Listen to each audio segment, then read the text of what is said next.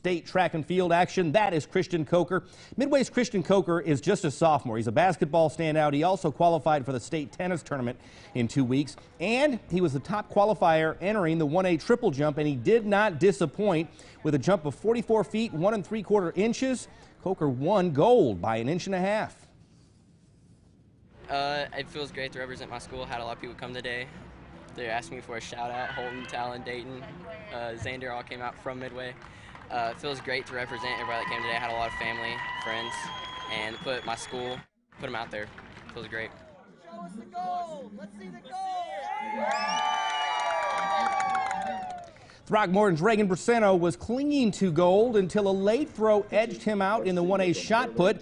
Braceno with a throw of 49 feet, three and a half inches, earning the senior a silver medal. Early this morning, Munday's Carly Willison won a silver medal in the 3200.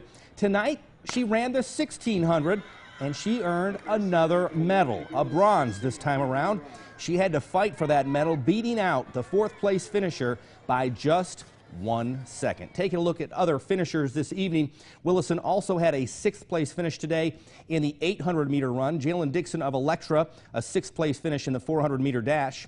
Seventh place going to Throckmorton's mile relay team of Caroline McCartney, Lily Cunningham, Italia Escalon, and Elena Harris. That same group combined to finish eighth in the 400 meter relay. Knox City's girls 800 meter relay team uh, finished uh, eighth, as I mentioned just a second ago. Skylar Embry with a ninth place finish in the 100 meter dash representing Bellevue. Benjamin's Braylee Blanchette finishing ninth in the 300 meter hurdles and Italia Escalon of Throckmorton finishing ninth in the 200 meter dash. MJ Baird will have a complete recap of the UIL State Track and Field meet tomorrow night at 10, and you can check out more highlights and results at TexomasHomepage.com.